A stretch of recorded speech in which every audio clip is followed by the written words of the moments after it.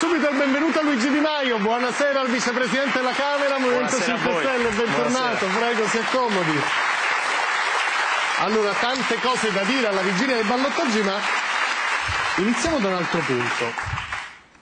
Mentre i giornalisti politici, gran parte del paese pensa al ballottaggio, Renzi si sposta e annuncia la riforma delle pensioni. Oggi si sono incontrati a Palazzo Chigi e hanno detto che cartello 11, vi faccio subito vedere, il governo pensa a dare a chi ha tre anni dalla pensione, può mandarlo prima in pensione prestandogli soldi, rata di restituzione potrebbe arrivare al 15% dell'assegno, più bassa naturalmente per chi intanto perde il lavoro, il prestito si ripagherebbe in 20 anni e verrebbe richiesto presso l'Inps. Due aspetti, uno tecnico del contenuto e l'altro politico, perché insomma ha di nuovo spostato la palla. Parliamo di pensioni. A parte che non credo che abbia spostato la palla, semplicemente uno dei suoi tanti annunci in vista di un appuntamento elettorale, cioè quello di domenica ai ballottaggi e siamo al 56esimo annuncio di riforma delle pensioni. Ah, di riforma delle pensioni. Di riforma delle pensioni. Detto questo, io non so se gli italiani abbiano capito come Renzi intenda mandarli in pensione prima. La pensione, se hai 63 anni per la Fornero devi andare in pensione a 67, te la paga la banca e Sì. poi tu devi ripagare quando prendi la pensione a 67 il prestito alla banca con gli interessi mangiandoti il 15% della pensione Fino a cui 15, hai diritto. diciamo. Quindi a me non sembra che ci mandi in pensione prima, che ci crei un mutuo a 63, a 64 anni che sempre noi ci dobbiamo ripagare. E mi dispiace. Mi dispiace che in questi giorni, Sì, devo dirlo, eh, in- in- inserisco perché dunque sarebbe una fase sperimentale, riguarderebbe, arrivano i particolari mentre dai parliamo. 61 ai 63. Sì, dai- le generazioni nate tra il 51 e il 55, il capitale viene anticipato da banche convenzionate con l'Inps, il prestito sarà senza garanzie reali, quindi naturalmente non è che poi ti prendono casa e in caso di morte non ci si rivale sugli eredi, diciamo. Quindi che cosa dobbiamo sperare? Non ho capito, dobbiamo sperare che la persona per non pagare il prestito dobbiamo sperare di morire. Beh, Vabbè, però diciamo ci ha portato a questo è Matteo facile Renzi. diciamo questa posizione, però c'è pure da dire che se vuoi andare in pensione prima i soldi alla fine Abbia pazienza, sono, ma in un paese in cui si pagano 12 miliardi di euro di pensioni d'oro, ma come si fa a dire agli italiani che devono farsi un mutuo per andare in pensione prima? E se posso dire una cosa, se posso dire una cosa, a questo tavolo oggi, a questo tavolo oggi c'erano da una parte il governo e da una parte i sindacati. Sì. Io non credo Quindi hanno riaperto il dialogo. eh. ma io non credo che i sindacati si debbano prestare a queste passerelle politiche del governo Renzi. Entrambi poi non parlano mai delle pensioni d'oro, forse perché sia i grandi sindacalisti e sia i politici del PD prendono le pensioni d'oro e i vitalizi, per Senta. questo Dunque ci sono due aspetti. Il primo, fino a che Renzi con i sindacati non parlava, molti commentatori, anche molti politici, hanno detto ah beh ma così rompe con i corpi intermedi, non c'è più rappresentanza, vuole fare tutto da solo. Adesso riapre la porta ai sindacati e fanno male loro andare. Le posso Forse dire una cosa, tutte le volte che abbiamo visto nell'ultimo periodo una contrattazione sindacale è stato solo per un annuncio. Io non ho visto ancora una contrattazione della nuova era Renzi che si confronta con i sindacati andare in porto. Cioè, ho lei visto... dice li usa. Li sta usando e io credo che i sindacati non si debbano far usare. Poi sono sicuramente più intelligenti di me, io non voglio Eh, assolutamente diciamo, non è dare consigli. Però ragazzini, credo, eh, no, io credo che io credo che in questa fase qui Però loro non si debbano è far un passo indietro della linea Renzi, no? In qualche misura è un po' un prendere atto d'aver finora sbagliato, forse, perché finora decideva e poi dice mandatemi una mail ai sindacati, si ricorda? Eh, Mandatemi una slide, mandatemi una mail. Adesso c'è Quella il era classico- la campagna elettorale delle europee. Poi adesso siamo in un'altra campagna elettorale in cui gli cambia po' di un me- po' di sinistra e quindi Allora. apre i sindacati. Gioca così. Adesso andremo alla campagna elettorale. Mi dica... Beh, diciamo, eh, la domanda l'ho scritta, quindi ormai gliela faccio, immagino la risposta. Il 16 c'è il funerale della Tasi. Io le dico soltanto una cosa, Sì. senza assolutamente fare facili ironie. Eh, se oggi Renzi ha tagliato la Tasi è perché ha tagliato 4 miliardi a luglio scorso dalla sanità. E il rapporto Censis di qualche giorno fa ci dice che 11 milioni di italiani negli ultimi 12 mesi hanno rinunciato a curarsi per problemi economici. Di converso uno studio della Will ci dice che anche se ha tagliato la Tasi, tutte le altre tasse sono aumentate a da neutralizzare il taglio della tasi e la politica di del governo entra da una parte e esce da un'altra. Sembra però la dichiarazione di Brunetta, solo qua. Beh, ma mi scusi, ma sulle bugie Renzi riesce addirittura nel miracolo di mettere d'accordo me e Brunetta, perché allora, una bugia è una bugia. Faccio vedere quello che è stato, ha colpito molto gli osservatori. Renzi è andata al commercio, i commercianti sono state una forza che l'ha portato molto anche al strepitoso risultato delle europee, insomma una forza e così è andata quando ha parlato degli 80 euro. Gli 80 euro super discussi, super contestati, ma guardate, io sugli 80 euro ho grandissimo rispetto per chi li ritiene una mancia elettorale. Siccome conosco delle persone che guadagnano 1000 euro al mese e non riescono ad arrivare alla fine del mese e grazie agli 80 euro si sono permessi uno zainetto in più, una cena in pizzeria in più, io sono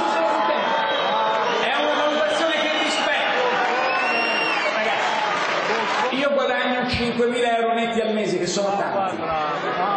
Fermi lì, fermi lì. No, no, guardate ragazzi, ho fatto l'arbitro in Garfagnana. Se pensate che mi preoccupi fare una discussione sugli stipendi, c'è un punto centrale. La riduzione dello stipendio, caro amico che sei intervenuto su questo, la puoi fare su due settori. Il primo sui manager pubblici e il primo atto insieme al decreto degli 80 euro è stato il tetto degli 240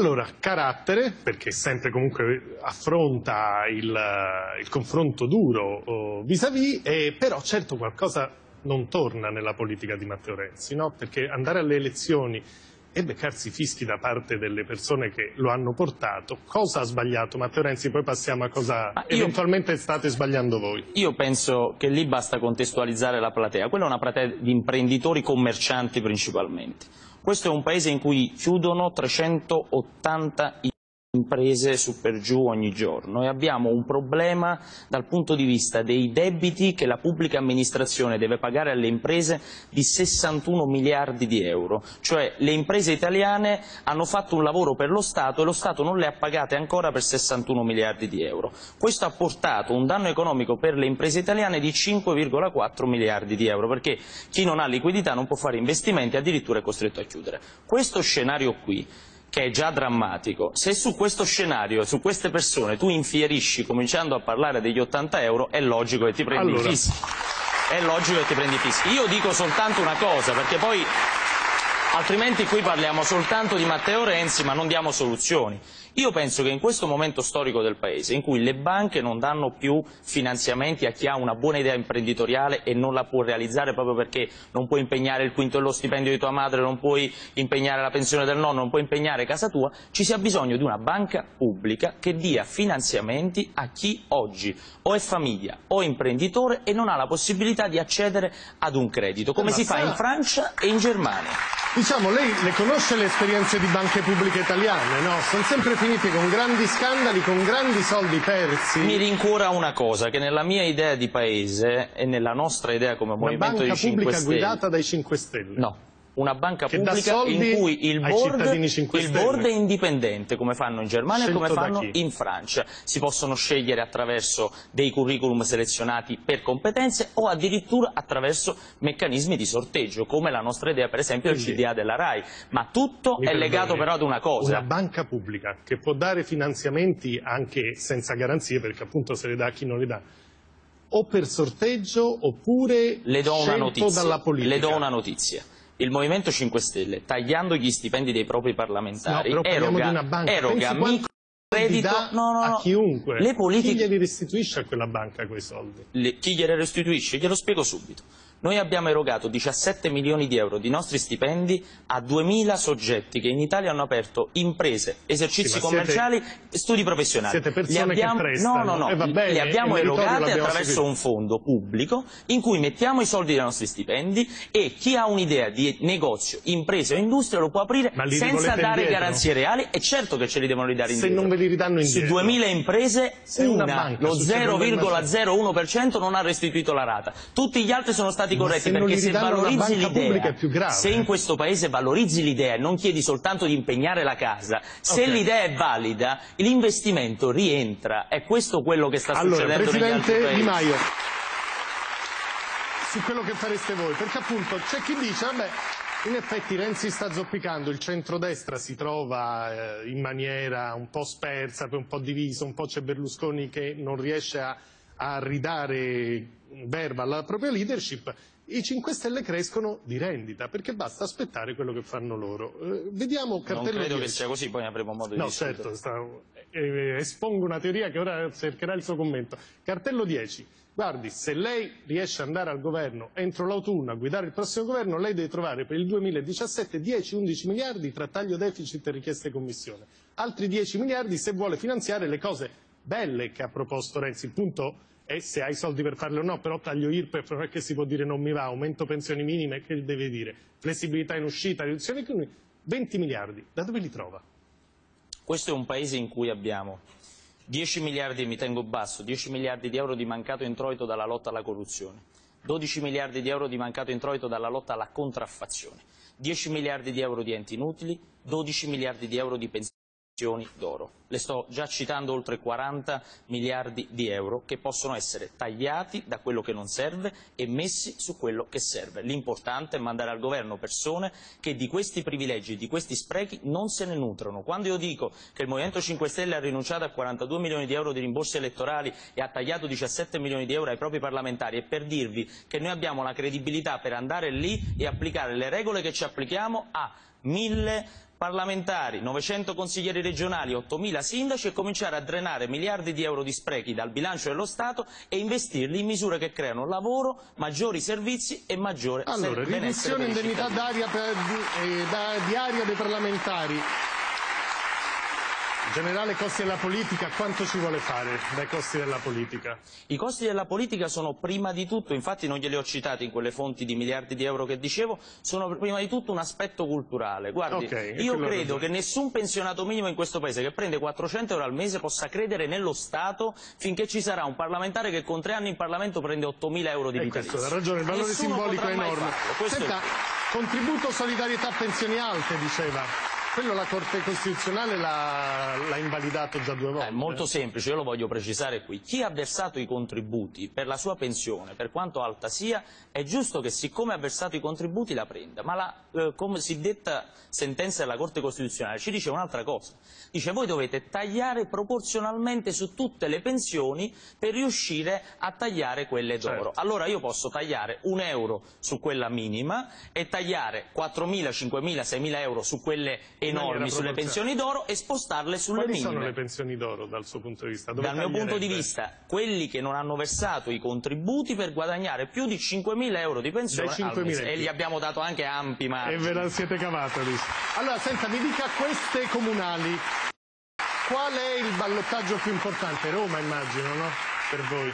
Guardi, io non le so dire se tra Roma, Torino, Milano, Bologna sia quello- ci sia uno più importante. L'importante è capire che cosa ci sia in gioco. Voi siete in ballo a Roma e a Torino di quelli più... Sì, i eh. nostri sono Chiara Appendino e Virginia Raggi a Torino e a Roma. Che diceva giustamente Bruno Vespa, un'immagine che uno non si aspetta no, dai 5 Stelle. Eppure queste persone fanno parte del Movimento 5 Stelle da quando è nato. Io credo che ci sia stata anche una narrazione sbagliata del Movimento 5 Stelle, perché siamo tutti come Chiara Appendino, Virginia Raggi. Ovviamente ognuno è differente sua- nei suoi gusti, nel suo modo di vestire, nel suo modo di atteggiarsi, ma tutti quanti abbiamo un'idea di paese alternativa e la vogliamo portare avanti. Io le dico solo una cosa su questi ballottaggi.